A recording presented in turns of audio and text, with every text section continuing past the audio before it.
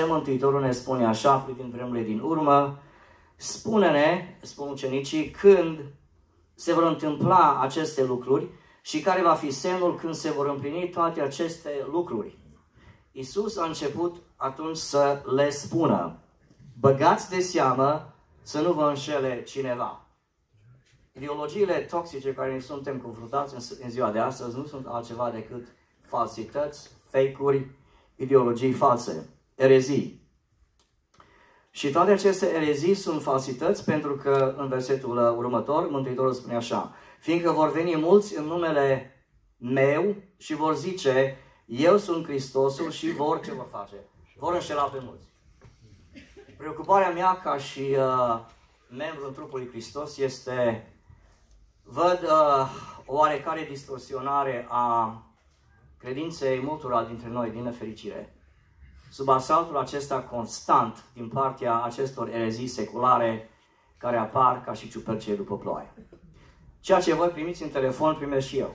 Și din nefericire, a spune poate majoritatea dintre creștini în ziua de astăzi, merg mai mult după ceea ce primesc în telefon, tot felul de teorii conspirative, foarte interesante, spun în ghilimele, și nu odată am avut discuții cu frați pastori care mă trag de o parte și îmi spun, frate pastor, frate Petre, am multe bătălii în biserica mea pentru că trebuie să încep de la început cu adevărurile începătoare ale creștinismului, pentru că frații și surorile noastre bat câmpii privind influențele acestea nocive în lumea creștinismului și a teologiei creștine. Uh, sunt uh, două teorii care poate le-ați auzit mai puțin, toxice uh, în, în ultimul timp. Unul este painis, painism, de la cuvântul pain, durere în limba engleză. Puteți să intrați pe web să vedeți ce înseamnă această doctrină chiar stranie, care are de a face cu evoluționism. Este o teorie care propune să acordăm dreptul de personhood, adică dreptul uh, de persoană juridică oricărei creaturi de sub soare care simte durere. Deci dacă râma simte durere, primește, tendința este sau recomandarea este să acordăm drept la, de, dreptul de personhood, de persoană acestei, uh, acestui... Uh, Dar uh, sunt multe... Merge microfonul meu? Uh, sunt multe uh, întrebări vis-a-vis de vot. Ar putea Râma să voteze? Bun, deci am încheiat timpul. nu, nu, nu, nu. Mai aveți, mai aveți un Bun. Iar uh, a doua idee este ceea ce ne îngrijorează pe toți și uh, fratele uh, Antonie a discutat subiectul acesta cu fratele Luca de mai multe ori în uh, interviurile pe care dând și foarte informative pe care dând și le prezintă este ceea ce se numește în ziua de astăzi tehnoteologia. Adică impactul pe care inteligența artificială, AI, Artificial Intelligence, are asupra modului în care gândim. Uh, recent, uh, Harari, israelianul, uh, israelitul uh, foarte influent în domeniul acesta, spunea recent că am ajuns la punctul în care inteligența artificială se poate replica, adică poate crea la rândul ei noi sau o nouă formă de inteligență artificială, dar și noi religii. Și uh, el a atenționat privind lucrul acesta și noua religie pe care, cel puțin am citit eu, intelectualii creștini, eu numesc uh, tehnognosticismul.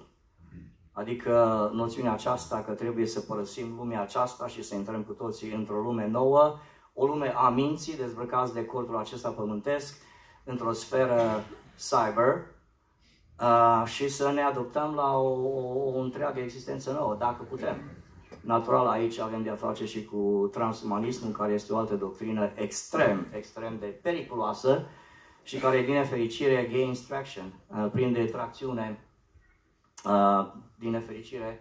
După cum știți, uh, chiar și un, unele persoane, ca de exemplu este Elon Musk, care sunt preocupați de viteza la care inteligența artificială se dezvoltă și uh, mai devreme sau mai, mai târziu opinează el și tind și eu să cred lucrul acesta, noi vom scăpa controlul asupra acestui noi val, nou val care nu e mai vechi de 12, 13, 14 luni. Dar vreau să vă dau vestea cea bună, cea mai bună dintre toate veștile este că Mântuitorul în cartea Apocalipsa spune așa, iată, eu ce fac? Fac toate lucrurile noi. Amin. Ghiță Mocan? Fratele Peter Costea spunea că nu se încumete să facă un index al uh, ideologiilor toxice. Am să mă încumet eu.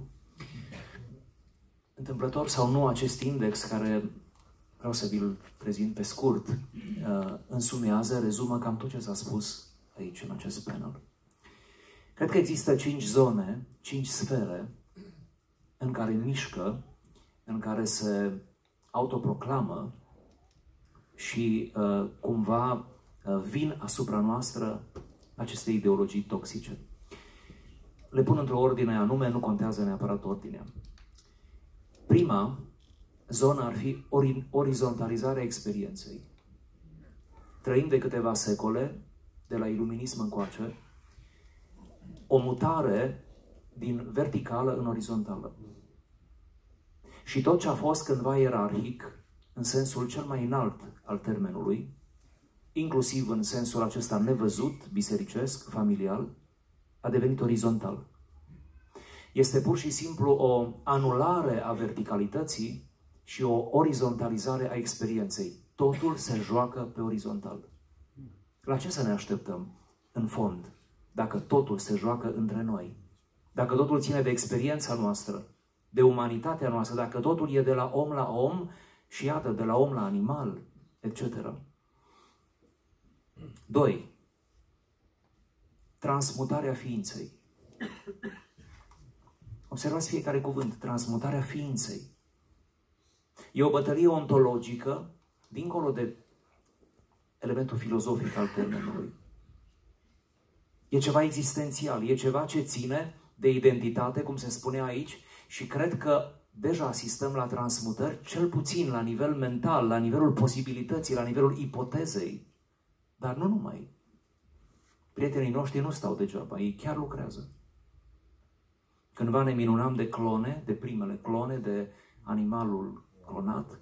Acum nu ne mai minunăm aproape de nimic, rămânem șocați pentru că trăim în această transmutare a ființei. S-a mers prea departe. 3. Fragmentarea cunoașterii. Fragmentarea cunoașterii. Cum bine s-a spus, au dispărut metanarațiunile. Nu mai suntem în stare să gândim într-o manieră holistică. Nu mai suntem în stare să citim uh, cărți de o anumită lungime.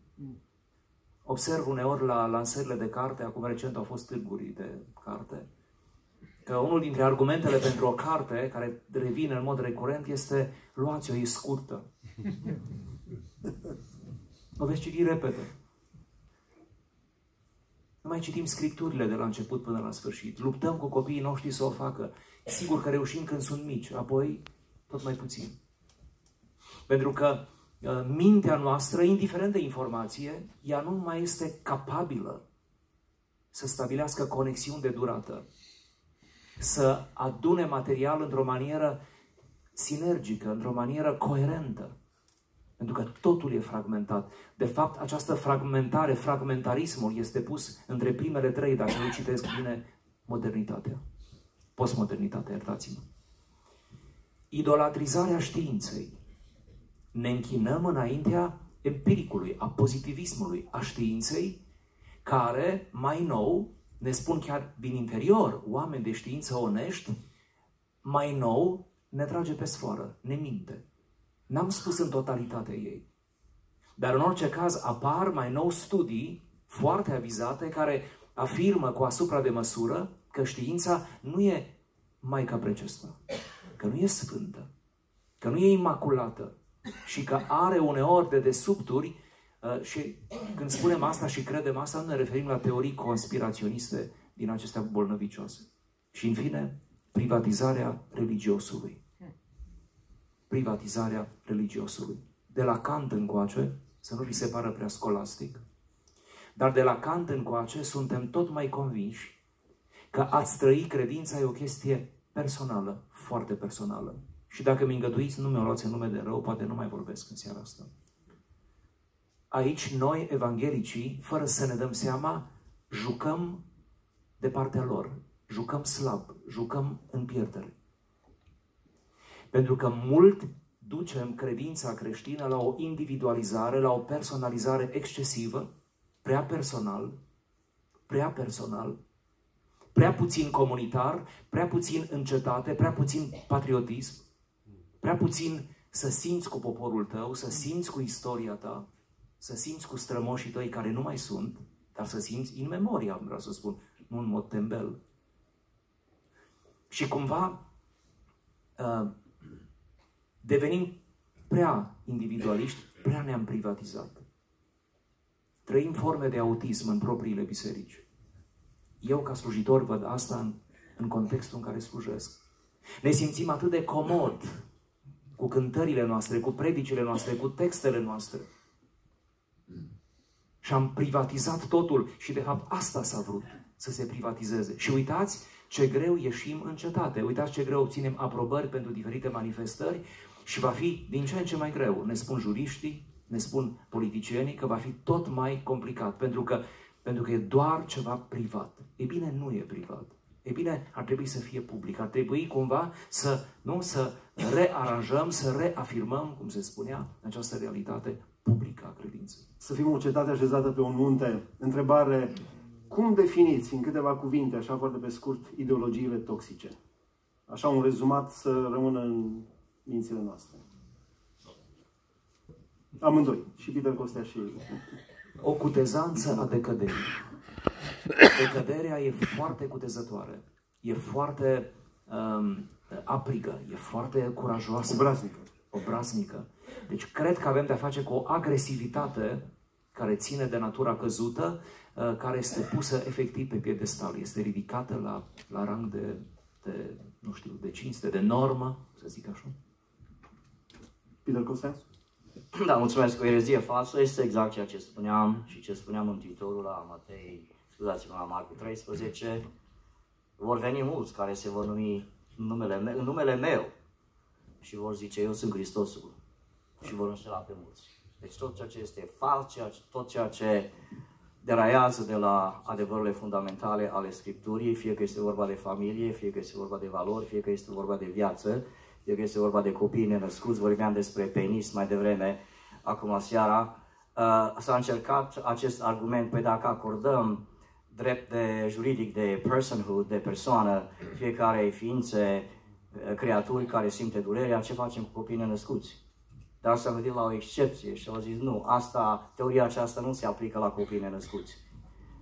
Deci vă dați seama că o erezie duce la altă erezie și se extrapolează și, uh, de fapt, cum spunea Domnul Isus, uh, la urma urmei, aceste teorii false nu sunt altceva decât, uh, iertați-mă răzneala, suntem creștini aici, duhuri necurate, duhuri drăcești. Două, trei întrebări la final.